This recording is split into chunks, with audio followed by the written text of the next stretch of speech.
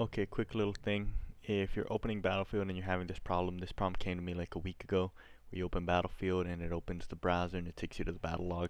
And you can join in through here, it's quicker. But if you don't like using the Battlelog because it's kind of out of date uh, and you want to open it, but every time you try to open it and play, it just launches the Battlelog. The I tried looking everywhere, there's no fix, but I found a fix. Uh, so what you're going to want to do is you're going to want to open Origin and you're going to want to go to your game library and wherever Battlefield 4 is, you're going to click on the little cog, game properties, advanced launch options. Yours is going to say 64. I changed it to 86 because 86 means opening through the Battlelog. So yours is going to say 64, but since I already fixed it, let's say for the sake of in the hypothetical argument that you're looking at your monitor, yours is going to say 64. You're going to want to change it to 86, hit save, hit play, it's going to launch the Battlelog. You're going to want to exit that. Want to exit. And let's go back in. And we wait for it to open. If it doesn't open, if Origin is not being stupid for once. Wait for it to open. There it is. Going to correcting Origin.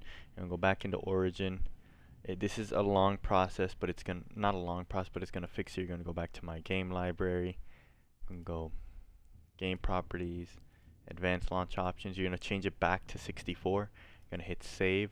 You're gonna hit origin, exit, and then that's it. You can just launch Battlefield, and it will launch in the UI, the Battlefield UI. Uh, another fix people have used was opening it through Battlefield 1 and then switching but that just was too much of opening Battlefield 1 and then switching and opening Battlefield 4. So now you can just go here, hit play, it's Cloud Sync, and then it's going to open it. If it decides to open it. Why is it not opening? There it goes. It takes a bit, but there it goes, and it launches into the UI.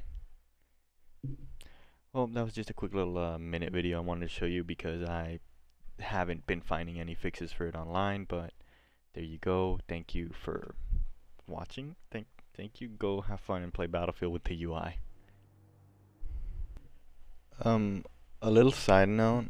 Uh, I don't have an account for any Battlefield forum. So if you guys have an account, uh, I'd appreciate if you guys showed this video or even just the way how to fix the problem there. Because I'm uh I there's like I haven't seen any answers yet. And this is a very recent problem and I'd be grateful if you guys just spread around the word of how to fix it. Because it was really annoying. Uh, anyway I'm uh thanks a lot guys and like have fun